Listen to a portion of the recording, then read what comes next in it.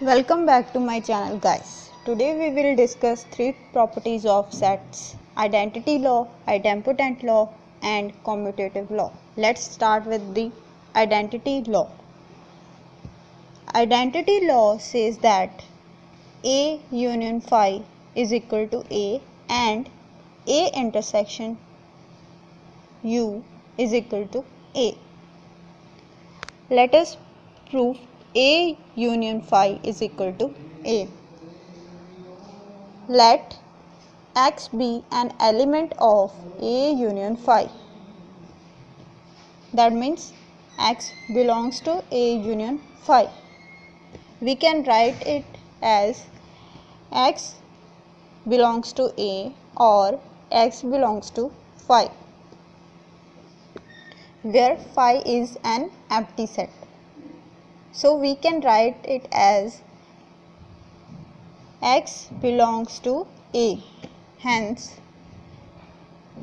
it is proved A union phi is equal to A.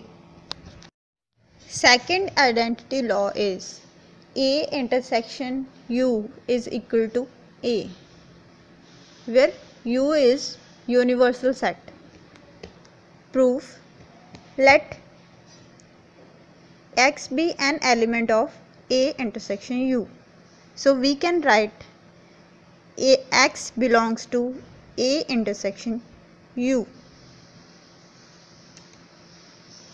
It can be written as x belongs to a and x belongs to u.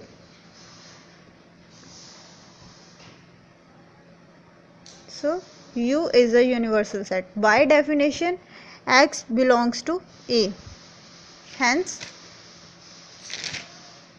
A intersection U is equal to A proved. Now let us talk about idempotent law. Idempotent law has two laws. First law is A union A is equal to A and second law is A intersection A is equal to A.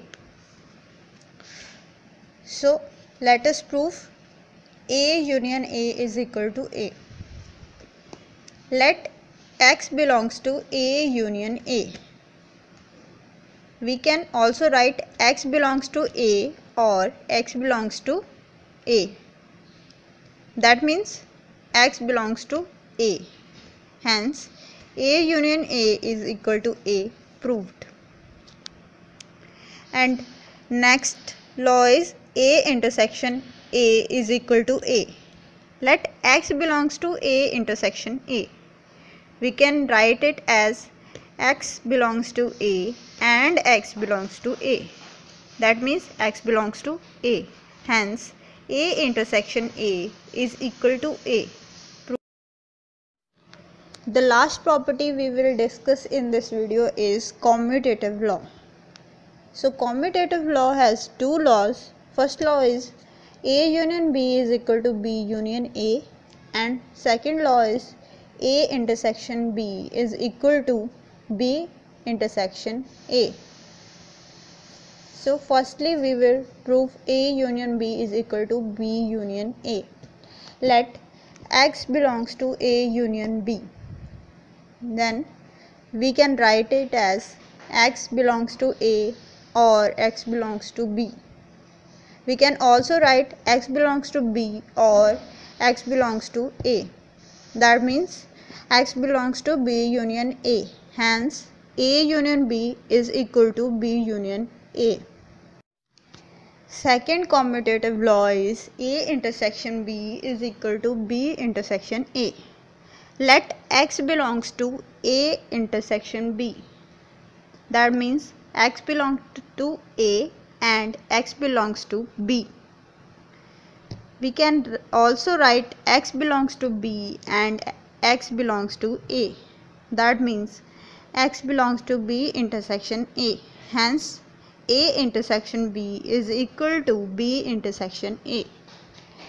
That's all for the video. Thanks for watching.